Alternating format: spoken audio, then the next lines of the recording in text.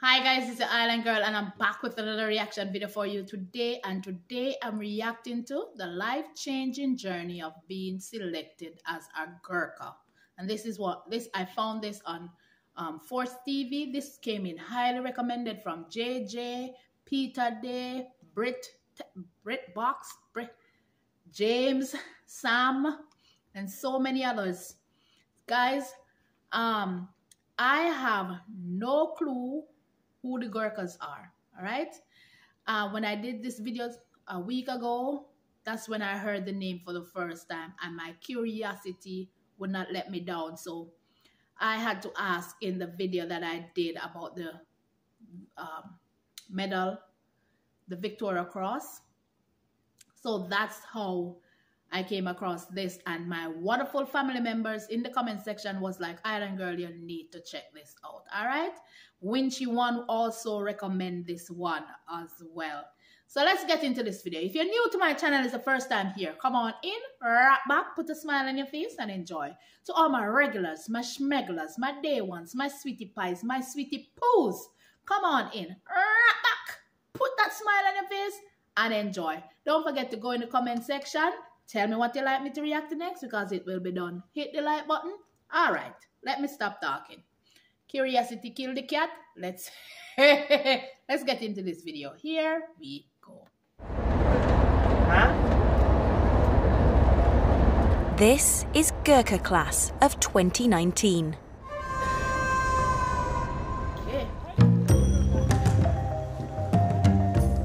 400 trainee soldiers, the biggest intake to set foot in the UK in over 30 years. Most are just teenagers, and their journey began thousands of miles from here.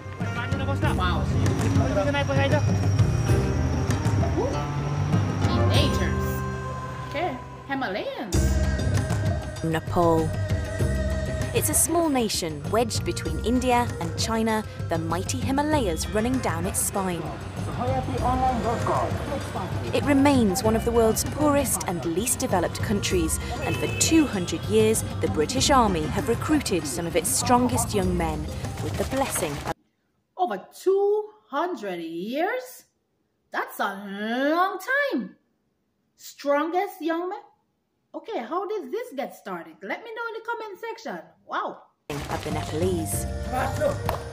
Every year, 10,000 apply to join, pledging to fight and potentially die for a country and a queen on the other side of the world.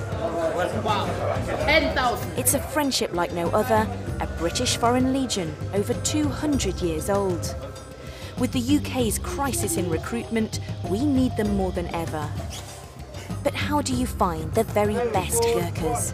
How do the British Army protect them from the corruption so rife in Nepal? And once in, is it all they dreamed of? Gurkha Company! Well, we're about to find out. It sounds so serious like they are amazing at what they do and I haven't heard anything as yet. But it's been going on for so long. So how did they become a part of the British Army? That I'd like to find out as well. Let's continue.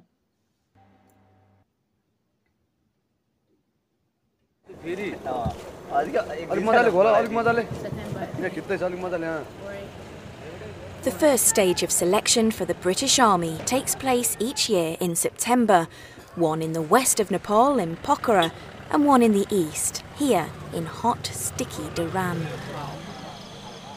Young men from all around get up in the early hours and travel miles to be here for a chance of a job in the British Army. Mm. Uh, today we got uh, one hilly district, that's Dhankuta, and uh, we got five uh, Tarai districts. Uh, normally, uh, they're farming background, especially in Tarai district, they're farming backgrounds, and uh, hilly district also, also farming background. But nowadays, most of the boys from the hills do come down to the cities, near the cities, for a better education, better life, or probably better facilities as well. Yeah. Oh wow! This year, the recruiting campaign was bigger than ever before.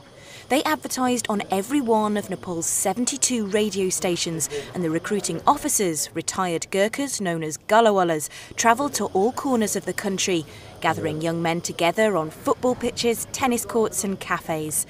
They modernised their website. Potential recruits, known as PRs, could even email Deputy Head of Recruiting Major Sandy Nightingale personally. And they did. I do get quite a few emails from PRs asking some quite various questions from are my teeth okay with photographic evidence uh, to, uh, you know, um, can women join this year? GC That's a very interesting one because guess what, guys? I've noticed I've never, I haven't seen any females so far. So, are women able to join, or it's a no-no where that is concerned, where the Gurkhas are concerned? This my interest, this just grabs my attention. I don't know what I'm getting myself. Lagi, Hami, Duisai Jana. What we're uh, trying to do is dispel the myth that uh, only certain Nepalis can join the British Army. It's still amazing to me that people think it's only certain castes. People think that you have to be rich. People think all kinds of, of things that are all wrong. Wow. We will take anyone who's good enough. We make sure there's a British officer on every single stand as well, just so no one could think, oh, I'm a Gurung, he's a Rai. Uh, you know, maybe he's going to give me a worse mark. Oh, wow.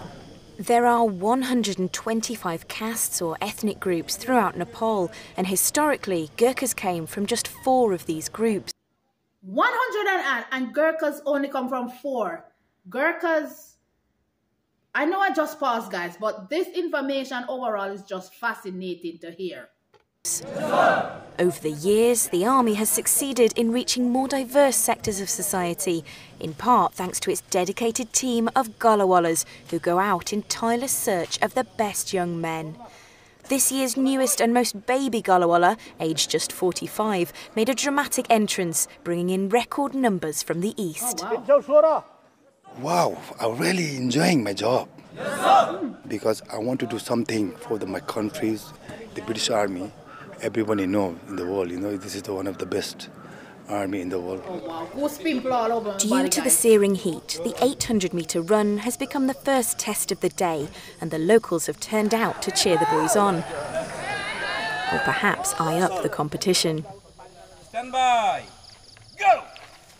With the futures of so many potential recruits resting on the selection process, there is no room for human error.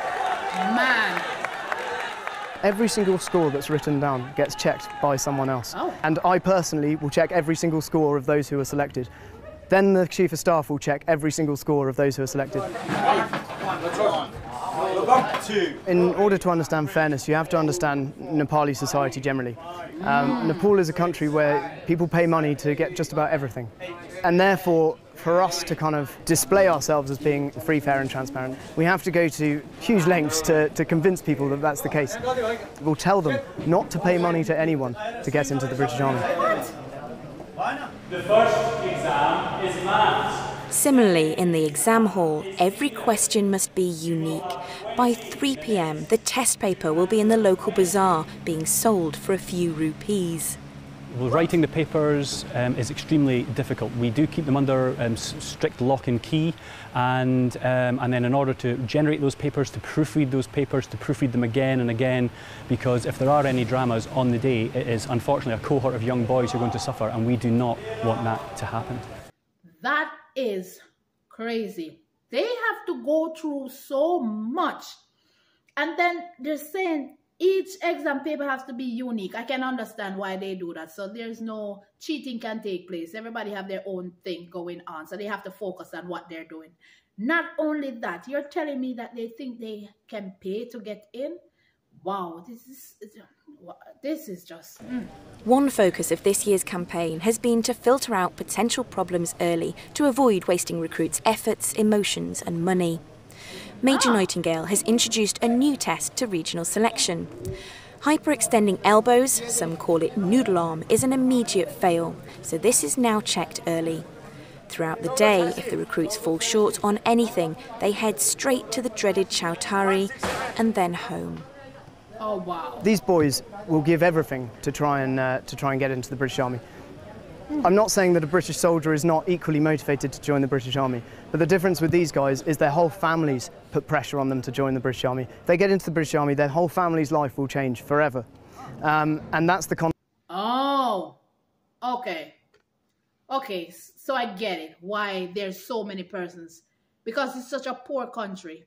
And yet, when one get in, the family is depending on that person. So so much pressure is put onto each individual that put man. Can you imagine the pressure of just going there, being each each stage, you're just hoping and praying that everything is okay because you're going to make that major difference in your family life. That whole burden is on your shoulder, but at the same time, you're kind of ecstatic if you if you do get through because you know that you're the one who make your family take your family out of a, a, a, a terrible situation. Context that we're working with. 1456 Nischal. Yes, sir. 1460 Prajwal. Yes, sir. 1468 Pradeep Kumar. Yes, sir. 1470. For some of today's young men, the news is devastating. 1499 Sugam. Yes, sir. 1500 Sunil. The recruiting staff are very protective of them. They won't allow anyone to speak to the potential recruits. Today is too important. Man. The chosen few will be invited back to selection in January, where they'll compete for one of just a few hundred places. Only 4% of the 10,000 applicants will make it. What? So they're going to have to compete again for another slot? And she, did she just say 4% out of so many people gets the opportunity?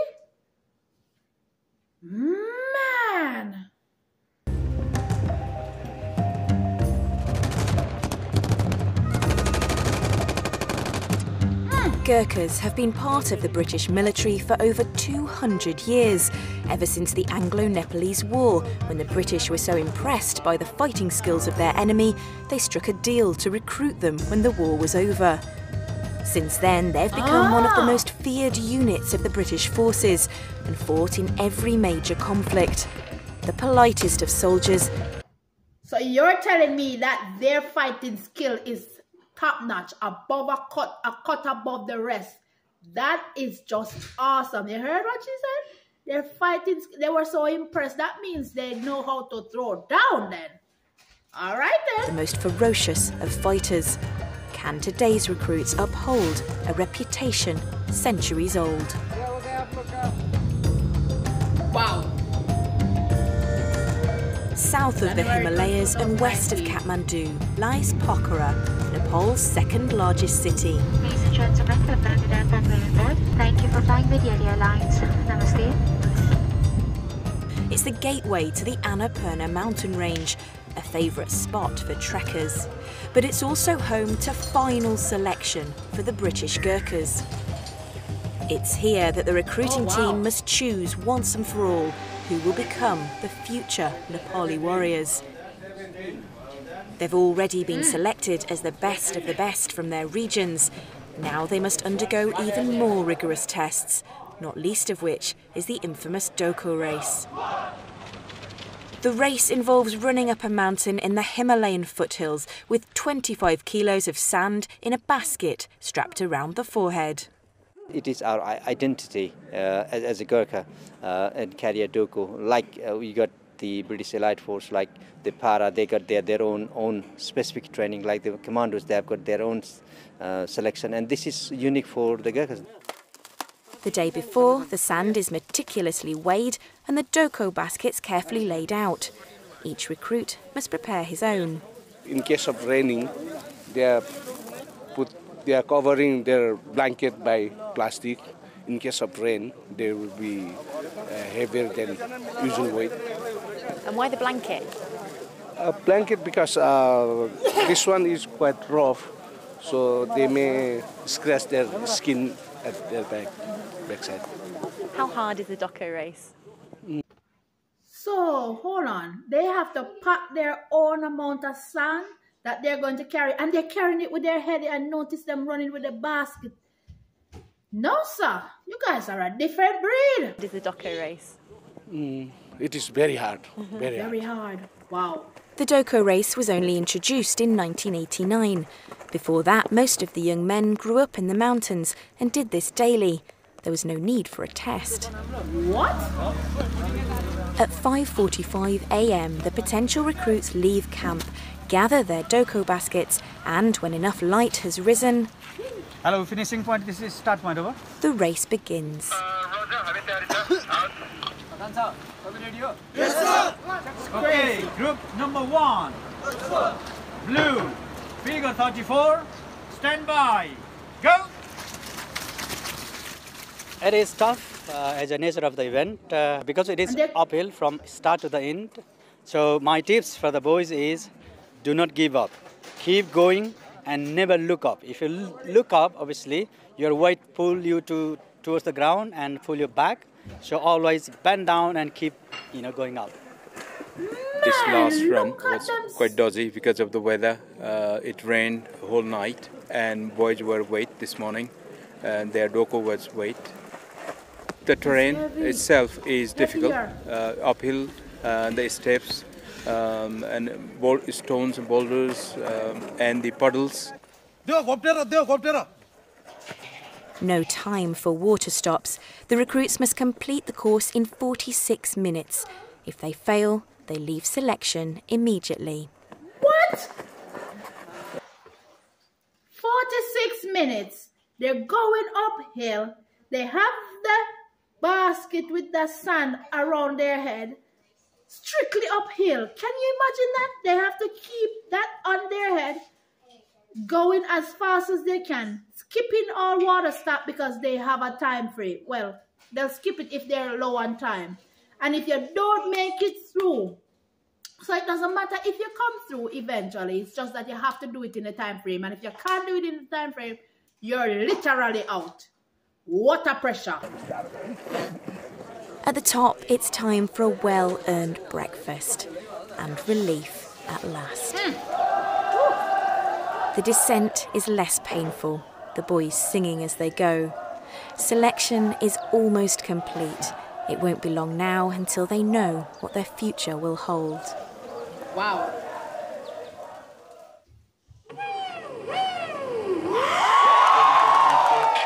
It's the night before results day for the potential recruits or PRs from the west of Nepal.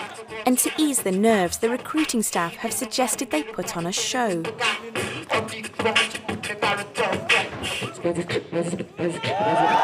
Western Idol delights the judging panel. It's clear that West's got talent. At least they're doing something to ease their nerve from all the pressures of waiting for the result of the next day. I can understand that, but she's it's nerving. Just just the wait. The next morning, it's a different story. The young men must now say their goodbyes. If successful, they're unlikely to see their newfound friends again. Many will be heading home. In a few moments' time, they'll be invited into a room one by one and told their fate. We see a massive spectrum of Nepali society. You know, we have people from very, very poor backgrounds who's maybe who are orphans. You see everything in that room, which is why we don't allow you guys to go in there.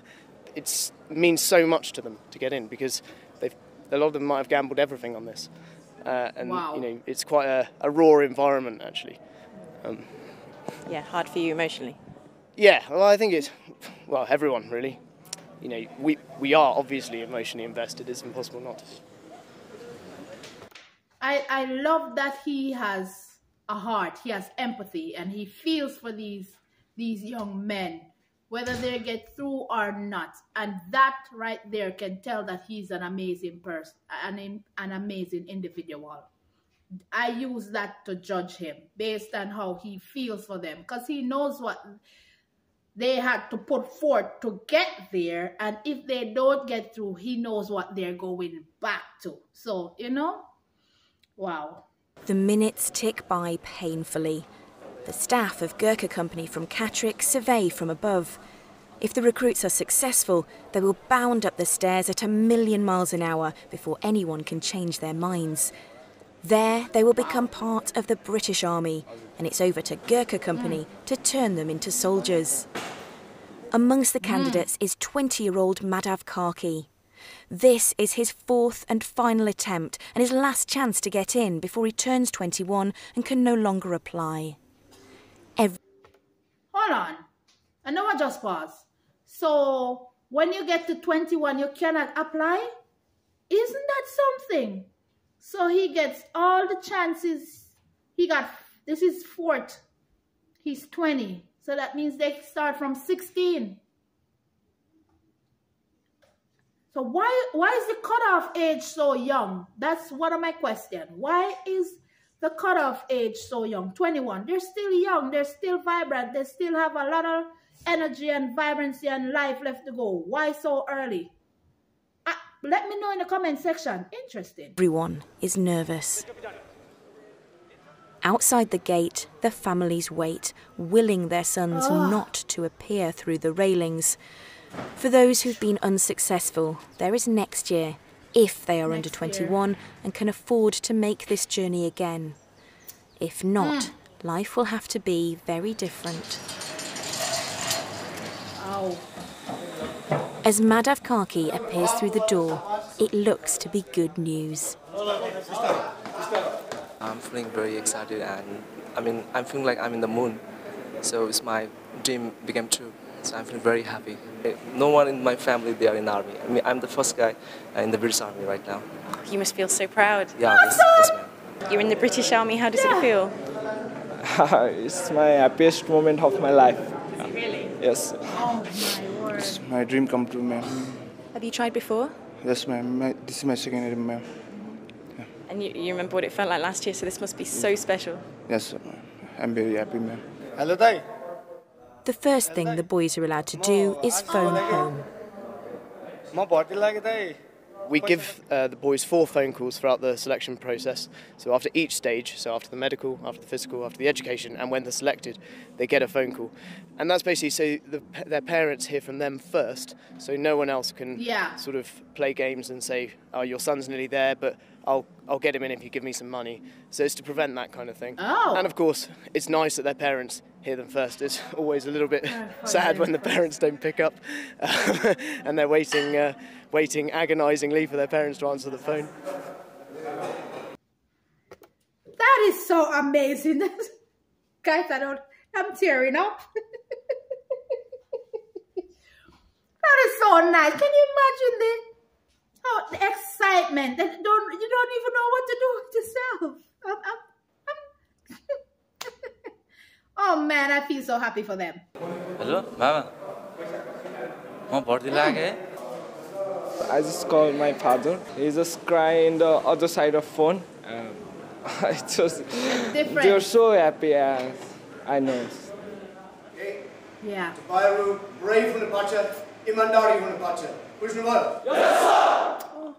With their new recruits assembled, Gurkha Company waste no time. The boys' own clothes will now be sent back to their families. They'll need a whole new wardrobe in the British Army. Wow. They have to get all their kit and equipment. So it's like a, a big Christmas day. So as you can see on the table, they are the Christmas father, and then they are getting a big, a bunch of bag. green. We didn't know who's gonna be selected, and we didn't know the sizes. So now we'll take them to the room, okay. and if there is a big or small, we try to sort it out within the group. It's like a big swapping session. Oh, okay. Uh, yes. And inevitably, all the big guys will end up with a small kit. Yeah, it will happen. Yeah. Next up, a trip to the barber and the tailor. Okay. You feel like you are a part of our army. Uh, without wearing these suits, uh, you are no longer civilian. What was the hardest yeah. part of selection for you? For, for me, uh, it was a 2400 meter running race, BFT, because uh, since I'm a city, since I'm a grown up all in the city, I haven't run that much. So for me to oh. pass only, it was very hard. But I have trained hard with my friend. Then uh, I have uh, succeeded and passed. The new recruits are nice. inoculated, fitted for their Virtus body armour, and measured for their civvy outfits known as the mufti. Mm. Camp quickly becomes awash with ironing boards and boot polish, and mirror space is very much at a premium. The recruits keep none of their old belongings. Everything is new. Wow. This is a special tie. Uh, you can't find. I don't think you can find it in. The we cannot buy it. we cannot buy it.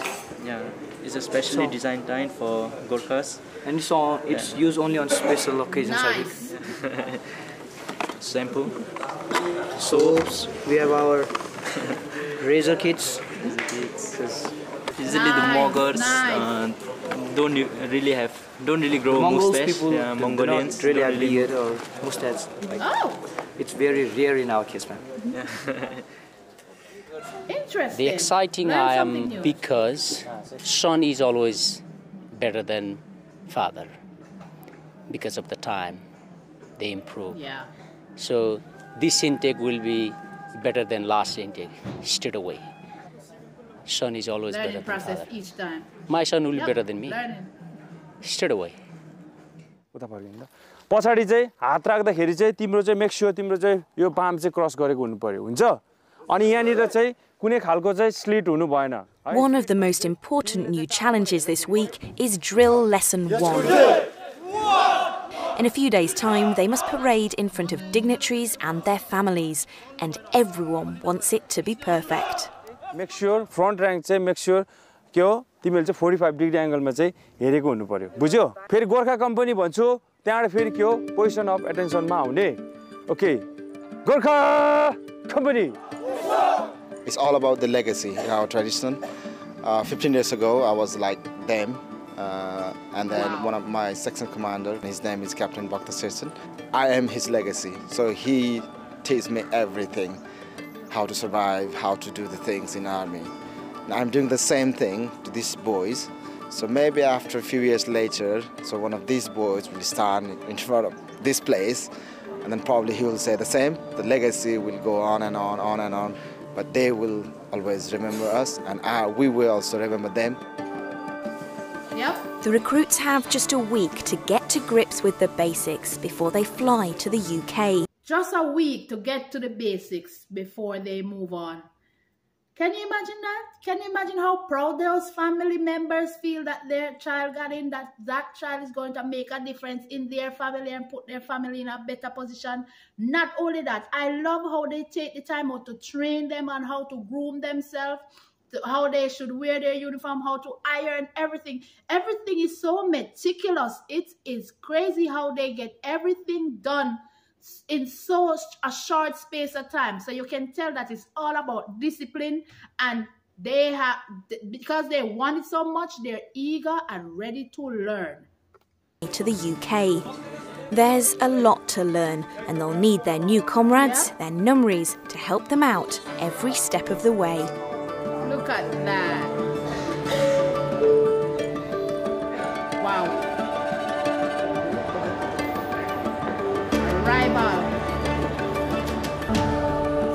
Instructors from Gurkha Company time. in Yorkshire's Catterick Garrison await the arrival of their new recruits. Oh yes, everyone is looking forward for this day. Because Gurkha Company would have been quite quiet, won't it? It is, yeah, it is quite quiet when the boys are not in the camp around and then we just uh, feel lonely when the boys are not in.